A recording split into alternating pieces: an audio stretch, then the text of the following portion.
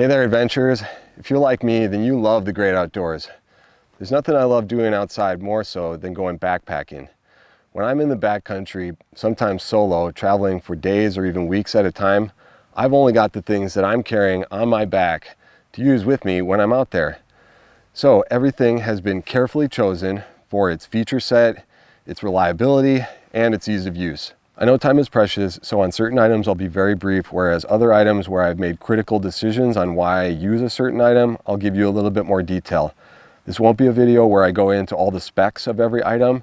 If you're interested in that information, I'll have a gear list down in the description and you can find all of that there. I'll also provide some information about my hiking profile, how many miles I hike per day, what kind of sites, campsites I use, and information like that so you can understand why I make some of these gear decisions a little bit better. All right, now let's get into the gear. Starting off with the backpack, this is a Z-Packs Arc Zip Ultra. I just got this, it's about three months old. I actually had the prior generation of this that I used for seven years and over 2,000 miles and hundreds of nights in a tent. Um, so got a lot of use out of it, was actually still going strong and I just wanted something that was new that I could use for another seven years. I encourage you to check out my channel because I have another video where I went into way more detail on this as well as talking about some of the differences between the old generation and the new generation. Next, the tent. This is a Slingfin Portal 2. I really like having the two-person tent for having that extra space to be able to get all of my gear inside the tent whether it's you know places where there are bugs around or maybe there's bad weather. I just want to have all my stuff inside the tent. I actually had been using a trekking pole supported tent a Z-Packs duplex for about five years. And I you know just got tired of using poles. I found that I didn't really need them. And so last year was actually when I started using this tent. Um, I was searching for something that was super lightweight and bomber and I landed on this and I've been really happy with it so far. I've really only, you know, modified it or changed or upgraded it in two ways. One is the, the poles that came with it. I, I bought some, you know, thicker upgraded poles that Slingfin offers, as well as I've added uh, really long lines all around that allow me to attach it onto rocks or tree, tree limbs or other things in the area. These upgrades, the poles and the lines, enable me to camp in the sites where I want to be at uh, which is typically, you know, sometimes above tree line and often very exposed. So I do use a ground sheet. That gives me some added peace of mind in the places where I'm camping, where there's really bad terrain or maybe it's really rocky. I use the MSR Groundhog Minis. I generally will bring enough to be able to anchor the four corners, the head and the toe, and then one of, you know, one side for each of the doors for these additional place, you know, the additional lines up here, I won't bring a stake for that necessarily because I generally expect to be able to find rocks or other heavy things in that area. So I only bring, you know, enough stakes for what I need. They're very strong. They hold in the ground really well. And when the tent is pulling up on it, on the line there, it, these never come out. However, I try to uh, actually find and use rocks when I'm camping really anywhere. I find that when I attach those my lines onto rocks, I just get a better hold. You know, in the event that the line does come off of a stake or it gets pulled out of the ground, you lose all your holding power. Whereas with a rock, you know, even if that rock starts to get pulled and sliding, you know, moving on the ground, it's still physically attached to the tent. Your tent is not going to blow away. Okay, moving on to sleep system. Starting with this item here. This is my quilt. It's an Enlightened Equipment 20 degrees Fahrenheit. It probably would not be a 20 degree rating if you were to go and buy one on their website right now. I've been using this since 2017. This is maybe a 30F if you looked at the fill weights of what it was when I bought it compared to what they sell on the site right now. I really like this because for one, I can unzip it fully and I can just kind of wrap it around myself like a blanket. Uh, I can also zip up the ends. So, you know, attaching the two ends together and then creating essentially like a mummy bag. So it's very warm when I need it to be. It's also able to be just fully unzipped. So if you're camping in hot weather, you don't have to be, you know, kind of uh, sandwiched inside your bag. You can have a little bit more breathing room. I would highly recommend you consider using a quilt as opposed to a mummy bag. This has just been something that I really like and I would never really consider going back to a mummy bag. Okay, next item. This is a NeoAir UberLite. This is the regular wide version, so it's got a little bit more width on it. I prefer to have, you know, the wide version because I actually tried the standard one and I found that when I was laying on it, that my arms and my hands would actually fall down to the ground and that just had an uncomfortable, weird feeling. So I need to have my arms and, and you know, uh, forearms up onto the pad so I'm laying there on my back more comfortably. This is the lightest NeoAir that they make. I, you know, have kind of actually probably replaced this at least once by now. And I actually carry a secondary pad. This is a Nemo switchback and it's the short version, so it's not the full length. I don't feel like the full length is necessary for one because I actually have this other pad. So this is really my redundancy solution. These NeoAir pads and I think most air pads have this flaw where over time, you know, they just start to develop these slow leaks. And so, you know, I find that when that happens, I wake up and I'm uncomfortable. And so by having this underneath my pad, for one, you know, when that happens, I just don't feel it as much. Two, this adds a ton of warmth. And so having this underneath my pad instead of the air pad directly on the ground gives me added warmth.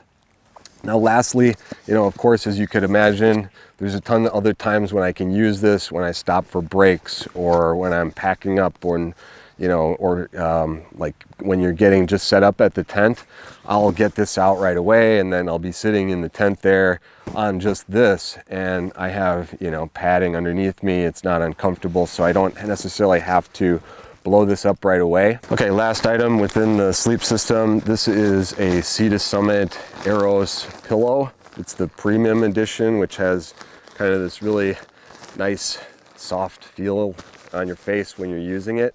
I've had, you know, this style for now a couple of years. I really like it. It, you know, uh, fits underneath and keeps my head uh, off the ground. The one thing I'll say is that the durability of this particular uh, fabric on the face here is not that good. I've found that, you know, after just a couple of uses, the fabric starts to pile up. Now, it doesn't necessarily affect the feel, you know, on my face. I don't necessarily feel that and it still works. However, I think that it just, it looks crummy at that point, and then I fear that over time, that's just gonna come off entirely. So I've been considering alternative pillows. If you're watching this video and you have a brand or type of pillow that you've been using and you really love it, drop it in the comments below. I think probably this will be something that I look to replace or upgrade sometime throughout this year. Okay, water purification. This is possibly one of the most, if not the most critical items in my pack. You might be wondering, why am I holding two? Because I bring two with me on every trip.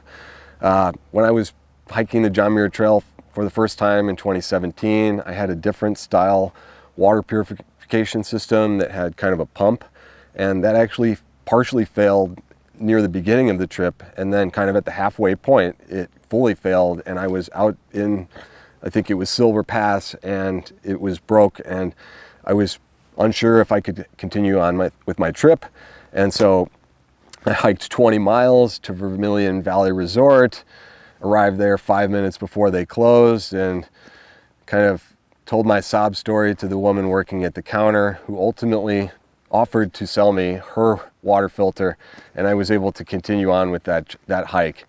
So uh, I now, ever since then, always bring two water filters, you know, not two pump water filters. I've also transitioned away from those pump style water filters because of all the pieces and parts involved in that. With this BeFree, I basically go to the water source, I scoop it up, I screw on the cap, and then I squeeze now you can imagine these bags, they could pop or something could happen, right? Um, and that's really why I have two, is just in case one of them were to fail or maybe one was to get clogged. I've got that redundancy solution, so I'm covered. Now, there are times when I go backpacking in places where I expect to be camped a little bit further away from water. in those situations, I'll bring along a different kind of water bag system. Now these actually have a fitting where I can take the top off of this bag and put the BeFree water filter right in the top there. So it essentially turns it into a big water filter bag for a BeFree. And so I'll have, you know, kind of this setup. I also have one that's a, a two liter version of this so I can carry three liters of water to wherever my dry campsite is. That can also be handy again for when you're hiking and you have longer water carries. You can have kind of a dual system, if you will, where this is what you use all the time, all throughout the day, and then maybe you get this out when you really need to haul water away from that water source.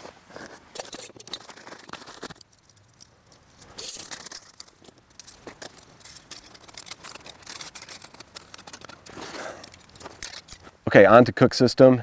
This is the Pocket Rocket Deluxe. I've been a Pocket Rocket user for a long time. It was actually the first backpacking stove that I got. Uh, so I've been using this Pocket Rocket Deluxe and I actually got this little windscreen here. It's from a company called Flat Cat Gear.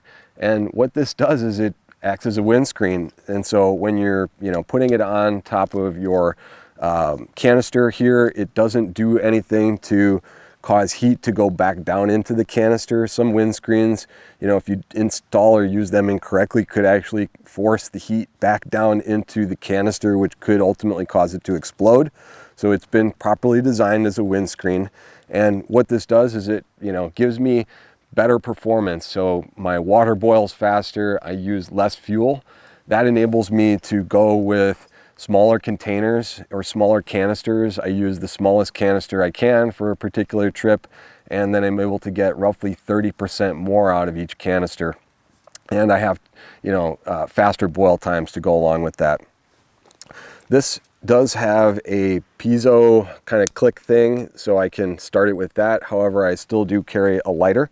Okay, you might be wondering about this thing on the bottom here. This is a canister holder and this really just helps to keep my stove from falling over. As I said, I use a lot of those smaller canisters and depending upon the tent site, you know, there might be uneven ground there. And so I just have these uh, legs on here that, you know, keep it from having uneven tip overs. And uh, it really doesn't weigh hardly anything and it nests within my pot here. So it's not really a burden to bring along. This is a Vault can. It's a titanium uh, one liter pot. And the thing I like about this is that it's one liter. Many of these are, you know, that are this style are smaller than that. And so if you fill up your typical water that you need for a backpacker meal, it might be at the very top of that. And so as it boils, it can, you know, spill water out or as you're handling it, water can spill out. So I generally am able to fill it up to that, you know, correct point and not have any spillage. The other thing is, you know, I'm able to lift it off with these handles, but having this bail on here, I'm able to, you know, lift it up if ever there's times where these handles are hot, or if there was a scenario where maybe my stove is not working correctly, I could actually, you know, use a stick and hold this above a wood fire, or if I had it down in the coals, I could use a stick to lift it up and out of there with that bale on the top there. All right, what do I eat with? Long handle spoon. This is a TI-ware from REI. I think I got this in 2009. I'm pretty sure this is the oldest piece of backpacking equipment that I own. And I probably will never ever need to replace this thing. Um, I use it with freezer bag meals and so when I've got my Ziploc freezer bag, you know, and I'm eating out of it, I'm able to dig down deeper inside that bag and get out my food without getting kind of food and all, you know, all over my hands. The other thing is that I've got this uh, zero gravity gear. It's a koozie for your freezer bag meals. And, you know, this just helps with keeping the food hotter longer. So as your food is rehydrating, it just rehydrates better, maybe a little bit faster. And then as you're eating it, it will stay warmer because it's protected inside here. This is super important and critical for in the wintertime. And then lastly, this, this has like a dual purpose. When I'm uh, carrying a bear canister, I'll put this in the back of my pack, right, right behind my back there, between my back and the bear canister.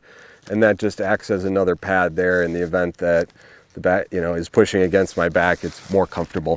For food storage, I always bring a bear canister in those places where it's required. And a lot of the places I go, it is required and I absolutely adhere to those requirements. I've got three different bear canisters. This is the Bear Vault 450. I try to use this whenever possible because it's smaller and it fits in the pack nicer. The one thing about this versus the Bearikades is that it can be a little bit difficult to press these pads. So, you know, like it is right now when it's cold and I have to press this tab in here to slide this and get it open, that can make your fingers raw. So, you know, bring gloves if you can. The Bearikades, these are also very very nice barrack canisters. They're lightweight and as you can see I've got the tall one here. Okay, I'm gonna move on to clothes and then I'll come back to the rest of the gear at the end. For hiking clothes and what I wear all the time, you know, during the day, starting with the hat, I use a 360 degree brim hat. This helps to keep the sun off my ears and on my neck and minimize the chances of getting sunburn. These don't work that well when it gets windy and so I'll always bring along an extra hat and I'll switch back and forth. For my top, I always wear a long sleeve hoodie. This is a really lightweight one.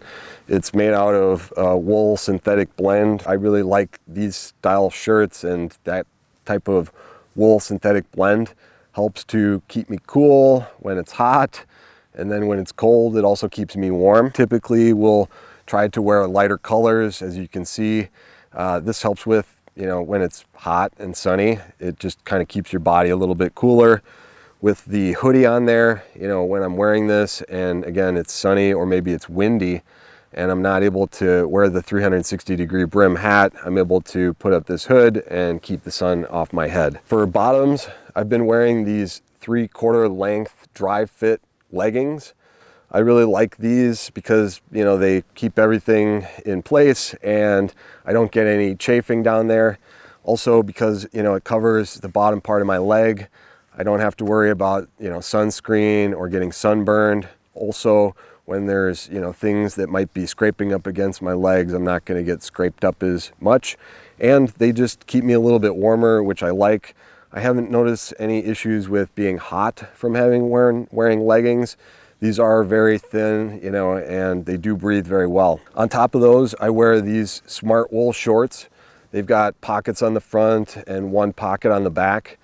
I really like these because they have a really thick waistband and so when they're, you know, being worn for a week or more at a time, they don't kind of fail or start to become weak and then slide down off my waist. They stay in place really well there. And because of that big wide waist belt, it feels comfortable when it's underneath the backpack waist belt. Okay, so for socks, I actually wear Injinji toe socks. These are the synthetic version. I tried the wool ones, but they just felt a little odd. And so these are the synthetic version. And I wear these underneath my regular Darn Tough socks, the light hiker short version, I would have uh, sometimes get blisters in between my toes or on the end of my toes. It didn't really hurt, but I would notice those at the end of longer trips. And so ever since I've been wearing these, I don't really have those blisters on my toes ever at all. And then also on the heel area where I would sometimes get blisters previously, don't have any issues there. I previously would put Leukotape on my heel and since I've been wearing these types of Injinji toe socks with these socks over them, I've not had any issues. The other thing that I use are Dirty Girl Gaiters. I've used these now every year since 2018. When I did the John Muir Trail for the first time, I remember having to stop every couple of miles to literally stop and take my shoes off so I could drain all the sand and other little pebbles out. And so these are just a thing that you wear to keep crap from getting inside your shoes and all that stuff that you kick up when you're hiking. So for shoes, I've been wearing Altra Lone Peaks now for several years. These are, I think, the Lone Peak 5s. They're not the latest ones that are out now. I basically just replace them once they've worn out to a certain point and then I get whatever is the latest version of the Lone Peaks. These ones have been, you know, used for last season and then the start of this season. And so it's likely that, you know, by time summer rolls around, I'll need to get a new pair. Lastly, things that I wear, sunglasses, I'm typically wearing these, you know, all day long. And so having a good pair of comfortable sunglasses is hugely important to me. I want to keep, you know, my eyesight good and be comfortable while I'm hiking. These work really well. These are the Julbo Glacier glasses. They let in only, I think, 5% of the visible light. You can still see out really well. And because they have this piece on the side, it just blocks all that light that's coming in from the side. I use this hard shell case and the cloth that came with it to protect it. And there's a carabiner here, which I use to attach this to the outside of my pack so I can easily put my sunglasses on and off throughout the day. Okay, so depending upon the conditions, these are the items that I would wear. Now, I've got a puffy. This is a custom made puffy from Goose Feet Gear. It's obviously custom fitted to me. It's an anorak style, which means that it's got a pocket here in the front and then a kind of uh, partial zipper there on the top. I don't ever hike in this. I only wear this when I'm stopped somewhere or I'm at camp. And because I have the quilt, I don't have that mummy up top. And so this helps to keep my upper body warm. This is a wind shirt from Patagonia. It's, I think, the Houdini version. And I love this wind shirt. I wear this a ton and you know, it really gives me a lot of warmth. And so, you know, the other thing is I keep it on the outside of my pack in the upper part right here so I can throw it on real quick when I'm stopped. I also wear this when I'm in the tent and I'm just trying to stay a little bit warmer. I would say that in general, this adds at least 10 degrees warmth and if you're in a place where it's really windy, this kind of thing is absolutely essential. Next item here, these are wind pants and they are from Montbell Gear. These ones are a bit beat up as you can see. They've got kind of uh, some holes there. However, they still work just fine. And you know, you saw there, it just nests down next to nothing when it's inside the pack. This takes up really no space at all and weighs only a couple of ounces. So instead of carrying, you know, something like regular pants. This is what I put on when I need pants. I can wear that over my shorts and my leggings to be warm when I'm stopped somewhere during the day or when I'm at camp.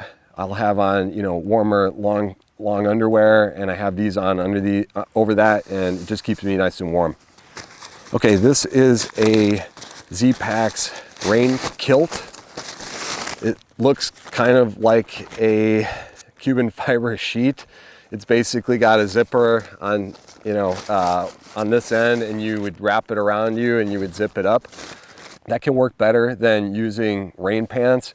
If you're wearing rain pants, kind of like these, these wind pants, those can just trap all that moisture and heat from when you're hiking and can be really uncomfortable to hike in. So the idea with a rain kilt is that you have some freedom of motion and you don't get hot and sweaty down there while you're hiking in the rain.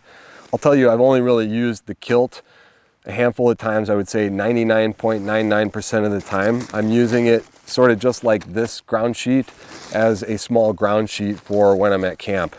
And there are times when you know I need to put my pack somewhere where it's muddy and I can set it down on this also, there are times where maybe it's raining and I want to cover up my shoes, whether sitting outside of the tent or in places where I'm camped, it's also snowing. And so I can keep my stuff covered up out there. There's just a whole ton of uses for that and it takes up really nothing in my pack. So I always typically bring that along. Okay, this is a rain jacket from Outdoor Research.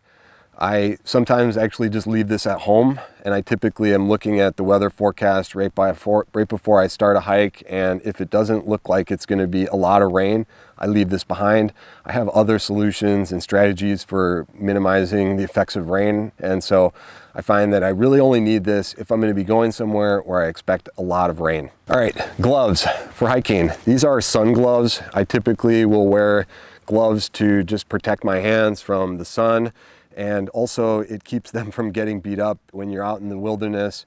There's a lot of things that you're doing with your hands and so you can end up getting just nicked up and dinged up on your end of your hands and so by wearing gloves all the time you just help to protect the ends of your hands. These gloves work really well for you know the touch functionality. Some gloves don't work very well for the touch functionality. When I'm hiking in a place where I need to have trekking poles, these are not the ones I would use because these are a little bit too flimsy. I would use these outdoor research ones which have a leather inner part so as I'm gripping a trekking pole it's not going to just disintegrate quickly. The thing that I do not like about these particular gloves is that they do not have the e-touch version end and so every time I want to use my phone I have to take these off. Okay this is a buff. It's basically a neck gaiter. I wear that around my neck. Sometimes I wear it up over my head or my ears. This is handy for, you know, hiking in when it's cold and just keeps your neck and raises your body temperature a little bit. It's also really good for when you're in hot or sorry, dusty conditions and keeps the, you know, stuff from blowing in your face. Headband, this works really well for when, you know, I'm hiking in places and it's cold and my ears get cold first typically. I find, you know, my ears and my fingers are the first thing to get cold and I don't want to have to put on a hat that covers up my the rest of my head and makes my, you know, head feel hot. And so this works really well because it, as you can see, only covers up my ears. I can also even wear a hat over it and hike in that. Also have a pack towel. This just goes on the front of my pack, helps with sweat or blowing your nose or whatever. Leather gloves, these I would say are, are not necessarily something that I wear too often. You know, I can wear them when if it's really cold or something like that. These are just super warm anyways. But how I use these is when I need to handle things at camp, picking up rocks and setting up my tent or, you know, handling the stakes that go in and out of the ground. I find that if I don't bring these along, my hands at the end of that trip, they're just destroyed, the, the ends of my fingers. Or worst case, I get a cut, you know, and I'm bleeding and having to deal with all of that while I'm out there. And so this is something that I didn't always carry, but lately, the last two years, I've just been bringing these on every single trip. These are ones from Marmot and they have kind of a soft inner feel, but I think really maybe any leather glove will work just fine. All right, last thing that I wear sometimes, these are water socks. They're neoprene water socks. They keep my feet warm when I'm going through water. And I used to carry camp shoes, some uh, rubber kind of croc style camp shoes and use those to walk through water. However, what I found was that with snow melt and even having to cross water in the wintertime, the water is just so freezing cold that it's actually painful to walk through. And if you're finding that it's painful to walk through, you may go too quickly. You might slip and fall because you're not going slow and steady. And so by having these water socks on, I'm able to walk through the water really comfortably, nice, slow and steady. I don't, you know, feel rushed as I'm going through the water and it's because of these. All right, so for sleep clothes, I have dedicated sleep clothes. You know, that's because at, you know, when you're hiking during the day, your clothes are hot, sweaty, and dirty. And when I get to camp, generally I want to get out of those clothes and start to dry them out. Or sometimes I'll even wash and rinse them and hang them to dry. And so I need other clothes and I need clothes that will keep me warm at night. I wear long underwear, wool underwear, and I wear a long sleeve wool shirt around my neck. I have another gaiter. This is another wool one. It's a little bit looser fitting than the blue one. So as I wear that around my face and neck, it doesn't feel constricting. I also have this balaclava. When I'm wearing that, just this part of my face is showing, helps to keep my head, neck, and, and area warmer. And then lastly, on top of that, I have just a knit wool hat. I also bring wool liner gloves. These are great. Uh, they keep my fingers warm. They have little touch uh, pads on them so I can use these in the tent to touch my phone and not have to take gloves off to handle my phone. I also have dedicated sleep socks.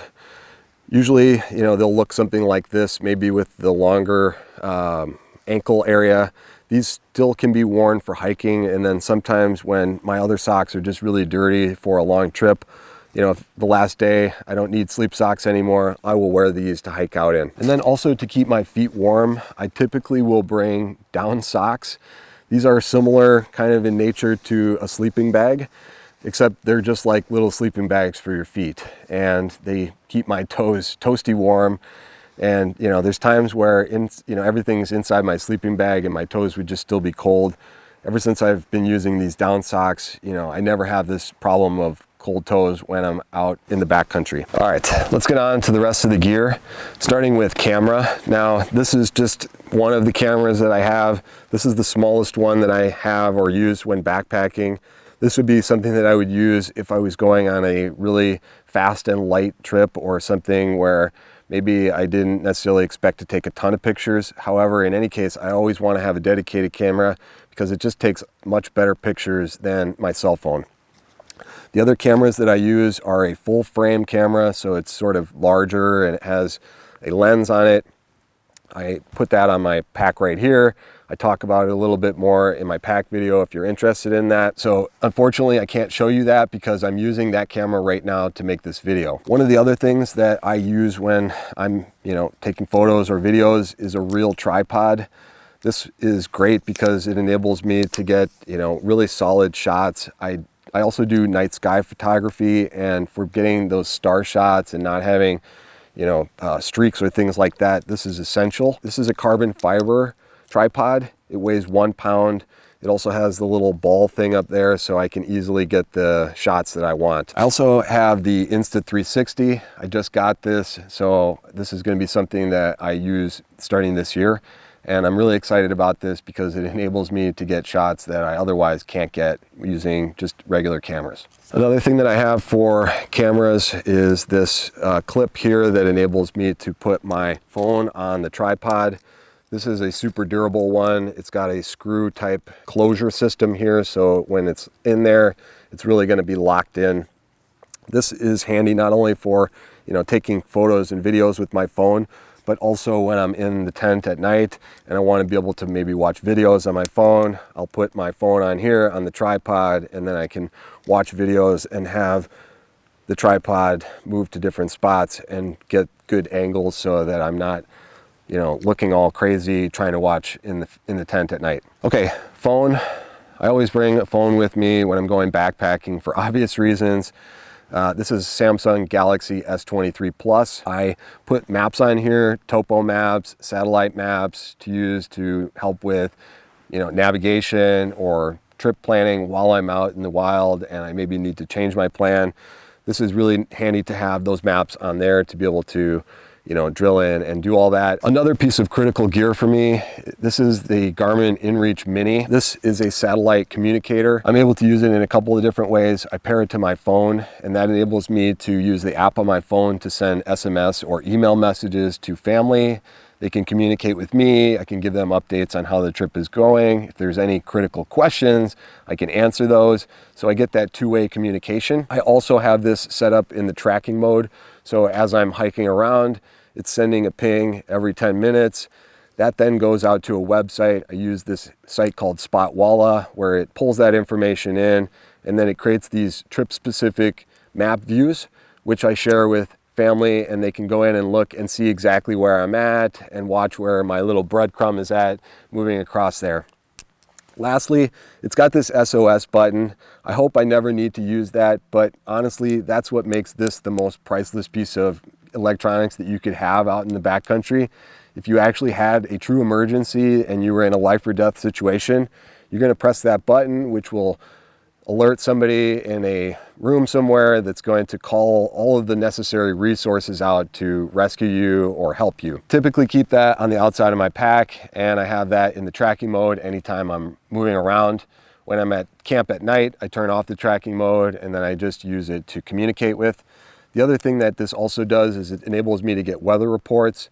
Now they're not the greatest weather reports, but it's a weather report that I don't have otherwise, and I use that to help me to understand what the weather is going to be for the next days and, you know, onward. Okay, another piece of electronics that I have, this is the Garmin Fenix 5X. It's a fitness watch from Garmin. It has GPS functionality so you can kind of track where you're at on a map built in. It has the ability to navigate right there on the screen. That's sort of helpful sometimes so that I don't have to pull out my phone to be able to look at maps.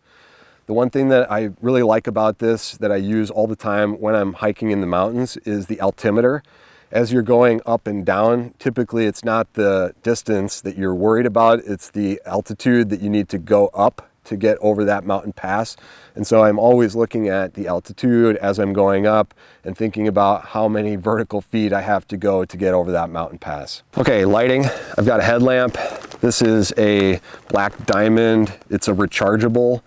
That's really, I think, absolutely critical for when you're in the backcountry. If this thing gets turned on in my pack accidentally, I can recharge it when I'm out there in the field and not have to bring extra batteries along. This unit is probably five or six years old. It still works great, so I'm not gonna replace it. The other lighting that I bring along with me is just a little tent light, and this has different colors. I hang this in the tent, and this just helps to cast light around the, diff, you know, the, the tent so I can see better inside the tent at night. This is also rechargeable. Okay, in terms of power, when I'm out in the backcountry, I always bring a USB battery. This is a 20,000 milliamp battery. I like this one because the size, as you can see, it's kind of, you know, long and thin, fits in the pack pretty well. It also has two ports, which is really nice because sometimes when you're trying to charge, you need to charge multiple things and you only have a short amount of charge charging time to get that done in. The other charging solution that I have is this solar panel from Suntactics. It's got a USB port there. It's really kind of low power. It gives you, I think, five watts output, which really isn't enough to be able to charge like a full-size camera or certain other electronics. However, it works great for charging things like smartwatches, the Garmin InReach, the different lighting. So I use that to effectively complement my USB battery and it really enabled me to carry less of these USB batteries. It also charges my phone. And so when I'm stopped, typically I'll pull this out of the side top compartment on my pack and I'll have the cable there so I can just charge my phone when I'm stopped for lunch or whatever that is. I also bring, you know, a contingent of USB cables. I need a specific one for the watch, unfortunately, so that's just to, just for the watch. Micro USB cables, USB-C, which, okay, another thing that I have here, it's an air pump. You might be wondering, why do I carry an air pump? Because when I get out to my campsite and I'm at high altitude, I'm often tired, sometimes I'm winded. The last thing I wanna do is crawl into my tent and be blowing up an air pad.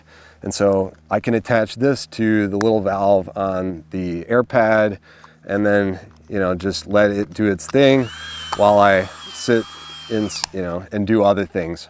This really weighs almost next to nothing and I find that just not having to blow up the air pad is huge, huge advantage of having this. It runs on batteries, so it's not rechargeable, but these batteries will last me at least one season. I've actually never had a time when I was out in the field and the batteries ran out. I've also got dry bags, as you can imagine. You know, this one for electronics. Everything that I have electronics wise fits into there and I am able to roll up these bag tops. I also have other dry bags for other things, like this is where I keep the camera cleaning equipment, my little alcohol pads for keeping my camera clean. There are also dry bags for my quilt and a few of the other things. Okay, first aid kit, band-aids, triple antibiotics, some rubber gloves. I also have in there some little tenacious tape patches. Other things in my toiletry kit, I have moisturizer and multiple chapsticks. I've had times where I've been on a backpacking trip and I had one chapstick and I lost it. And you know you end up with that really super dry chapped lips and I hate that. So I always have two chapsticks. One I typically keep on the outer part of my shoulder pouch where I can get to it anytime. And then one I keep inside my pack inside my toiletry kit here. So in the event I lose this one I'm good. The other thing is I have two lighters I have two lighters because, you know, that's really important to be able to boil water when I'm out there or maybe in a life or death emergency, I might need to make a fire. So I keep one lighter inside my toiletry kit and then I keep another one with my stove. Okay, last thing in here is my little Victorinox knife. It has a small blade, it's got a nail file, it's got a little scissors. I've never found the need for anything larger than that. Okay, another thing I keep in my kit is this Z-line. It's the thin version of the Z-line. This is approximately 25 feet. I use this to string between trees to be able to hang stuff on, dry it out. It also could come in handy in the event I need to hang something off of a tree, maybe your shoelace broke or whatever, or maybe the lines on your tent have, have, have failed. There's just a ton of stuff where you can use this. Okay, other stuff in my pack here, I've got wet wipes, hand sanitizer. I usually find that this is about right for maybe a three or four day trip. If I'm gonna be on something longer than that, then maybe I might bring two of these. Got a little toothbrush and toothpaste, sunscreen. This is SPF 50. I wouldn't recommend going with anything lower than SPF 50 most of my body and my clothes, you know, my skin is typically covered up, so often I'm only putting this on my face. Bug spray. I hate bugs. The one thing I hate the most is ticks of all things out in the wild places. It's not bears, it's not snakes, spiders, other stuff. I just absolutely hate ticks more than anything. So when I'm going to places where there's risk of ticks, I absolutely have bug spray. When I'm going places with flying bugs, I bring this head net you know, you got to have that, put it on over your head, keeps you sane while you're moving through bug country. Another thing you got to have is the deuce of spades. Use this for digging a hole and going to the bathroom. Must have item is Ziploc bags. I use this small sandwich style bag to keep all the snack trash throughout the day. And then I always carry at least three or so of the gallon size Ziploc bags. Don't buy the slider ones, buy the standard top closure. The slider ones will fail. That little slider piece will come off. I also will bring along a Zpacks bear bag to hold my trash inside there. And so, you know, when I'm packing out my toilet paper and my other trash, I have that inside one of these and these to be able to keep all the smell and stuff inside so it doesn't get out. Okay, one of the other items that I bring with me that I keep on my pack at all times, this is an emergency whistle. This is, you know, something that I've never had to use or needed to use. However, in the event that I, you know, fall or something happens to me while I'm hiking, this is something that could save my life and it weighs really next to nothing. And so by keeping it on my pack where I can get to it, if something were to happen, I would be able to get somebody's attention. The other thing here is this is a thermometer and compass. Of course, the compass helps me to navigate if all of my other means of navigation weren't working but the thermometer is really handy so I can be able to tell what the temperature is just for informational reasons. Last piece of gear that I typically always bring with me on a trip, this is a umbrella. Got a silver kind of reflectiveness to it so when the sun is hitting that and then on the inside there's a black coating, none of the sun gets through. So this is really primarily speaking for sun protection. However, it obviously works for rain. Now, because I have mentioned before, I don't always bring my rain jacket because I have this. And a lot of times when it rains, it's just for a short period of time. Putting on your rain jacket is just overkill. And, you know, in the Sierra, I'm able to just, you know, when it's doing the Sierra rain for 15 minutes, I'm able to throw this on and then hike around comfortably. Last thing is when you're wearing a rain jacket, you know, uh, compared to this, if, if it was raining, I could hold this above my, you know, pack so it could also protect some of my pack as it's raining.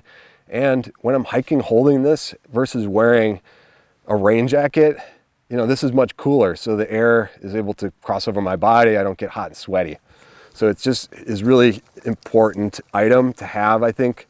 The other thing is I've got little strings here that I'm able to attach this onto my pack so I can actually hike with this on. I don't generally always do that. I've done that in Joshua Tree and a few other places.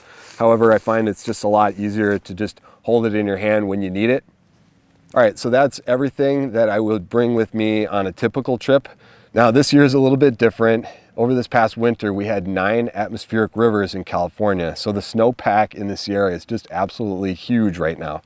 So early season hiking, I think I'm gonna need to bring a few additional items. These are micro spikes. These are from Kahtoola.